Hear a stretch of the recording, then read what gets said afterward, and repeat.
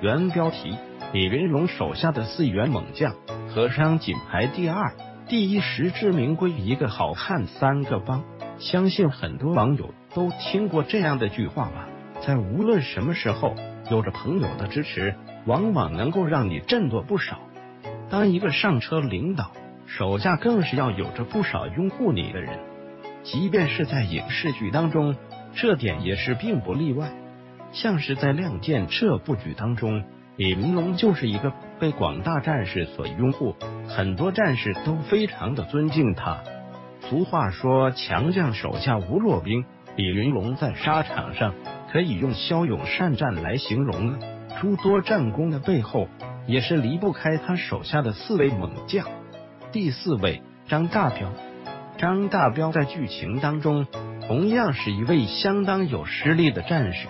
并且在他的身上更是有着军人的荷尔蒙，血性更是在他身上展现的淋漓尽致，并且李云龙相当器重他，在一些时候他都能够冷静的去分析一些问题，劝阻李云龙不要做出出格的事。尽管他的劝阻不怎么管用，但可见他的头脑是相当清晰的。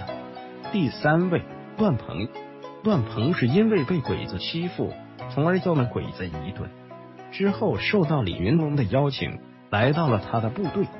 在部队当中，魏和尚与段鹏起了矛盾，更是在院中进行了拳脚的比试。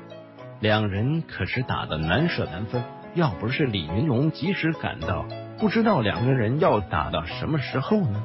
在魏和尚惨死后，也是在李云龙的身边保护着他的安全。第二位。魏和尚魏大勇是剧中一位不可或缺的人物，曾经被赵刚所救。李云龙见到他之后，起了爱才之心，便让和尚留在了独立团当中。